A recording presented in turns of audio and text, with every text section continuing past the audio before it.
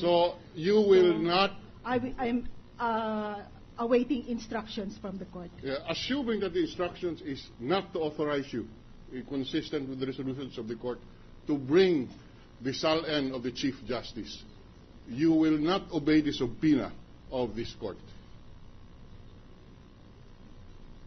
Witness, I must remind you that uh, while we respect the separation of powers, we obey the subpoena of the Supreme Court. Yes. And we hope that uh, and expect that the Supreme Court, as an equal, co-equal branch, will equally respect the processes of this court.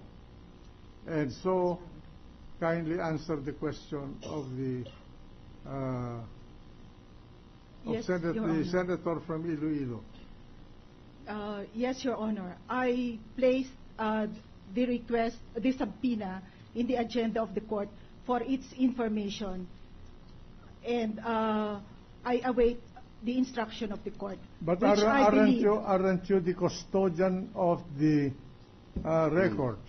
Yes, Your Honor. As custodian of the records, you have disposition over those records. Yes, Your Honor. And so But- therefore, if we we call you, we call on you to produce those records, then you must produce them. Yes, Your Honor. All right. So, and I may request counsel for the respondent to please take note of this, that uh, this court, under the Constitution, has the sole power to try and decide this case, and we must not be impeded by any agency of government in the performance of our duty. We take note of that, Your Honor. Yes, uh, so that, uh, uh, just asking the view of the witness as a custodian of these records, it is not your view that the orders of this impeachment court is subject to the approval of the Supreme Court. In other words, do you, you do not subscribe to the proposition that the orders of this court for you to produce this SALN is subject to the approval of the Supreme Court. As uh, the clerk of court, I have the obligation to inform them of uh, whatever uh, subpoena or matter is brought before me. So I, I just await instructions. If the instructions is not to produce the SALN, you will not follow the subpoena of this impeachment court? Uh, being Please uh, answer yes or no. I will uh, I will follow, Your Honor. I just gave it to them for their information. Ah, all right. So you just gave it to, you just gave it to the court for their information. information and authorization. Which I believe that If they you- will also grant. No, no. If you have no authorization, will you bring this uh, SALN in compliance with our subpoena? If the court uh, requires me to do so, I will do so. What, the, the do, no, if the court, If the, co- the impeachment court, I mean. ah, if the impeachment court requires you to do so, you will do so. Yes, Now, at this point, you have not brought the statement of assets, and liabilities, and net worth. Ask for the subpoena. Uh, I have brought them with me. You have brought the SALN with you. Is that correct, Madam Witness? Yes, Your Honor. All right. Uh, may I ask now uh, the uh, witness to produce before this court the documents that were subpoenaed uh, uh, by this court uh, in a subpoena dated uh, um, uh, January 14, uh, 17, 2012, as the witness said that she has these documents with her. The witness must comply. So, submit to the court the subpoena that you brought to this court. The SALN, Your Honor. the salary. Yes, uh, but Those I have are- not received uh, Hmm? the, I have placed it also in the agenda of the court. I, I thought that, uh, We did not subpoena the Supreme Court. We subpoenaed you to produce the record in your custody. So you are now ordered by the chair to uh, uh, surrender these uh, records to this court. Yes, Your Honor. can we ask now the, the clerk of court to receive these uh, documents?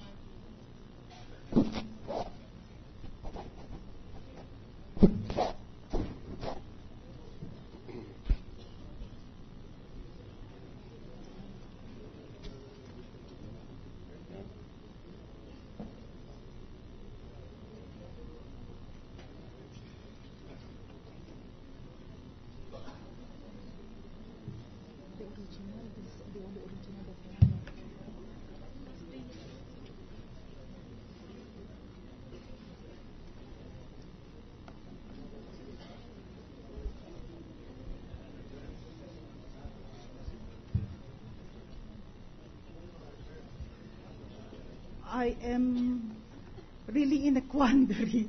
I'm in dilemma uh, because uh, we are covered by the rules of the Supreme Court and also by this honorable court. So may I request that uh, at least I get uh, the authorization first from the court before I submit them. We do not believe that that is proper, Your Honor, because to do so would subject the orders of this impeachment court to the approval of the Supreme Court. Because if the court does not authorize the release of the statement of assets and liabilities of the Chief Justice, then May, the may, subpoena is uh, defeated, Your Honor. may I request the counsel for the respondent to please uh, uh, advise the witness to surrender the sums and uh, advise your client that uh,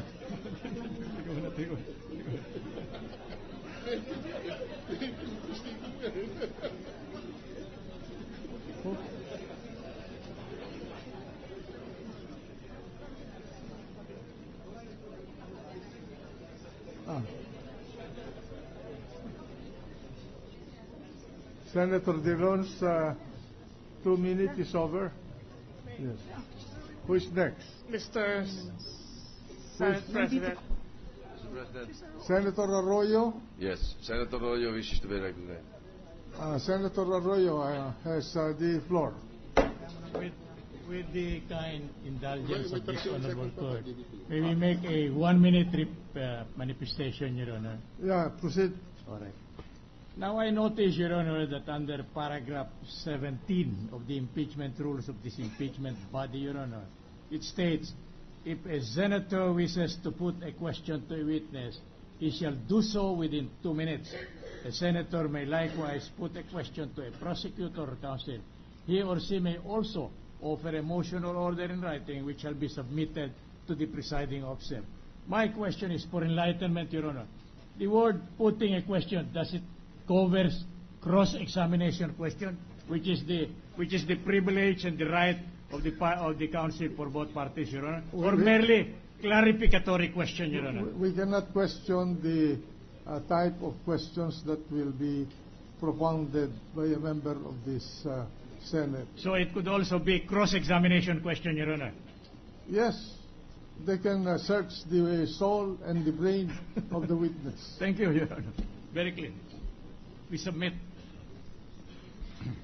May, may I request counsel to please uh, uh, uh, advise the respondent We did, we, uh, in this case to please uh, bear with this court and to please uh, allow the presentation of the uh, SALN.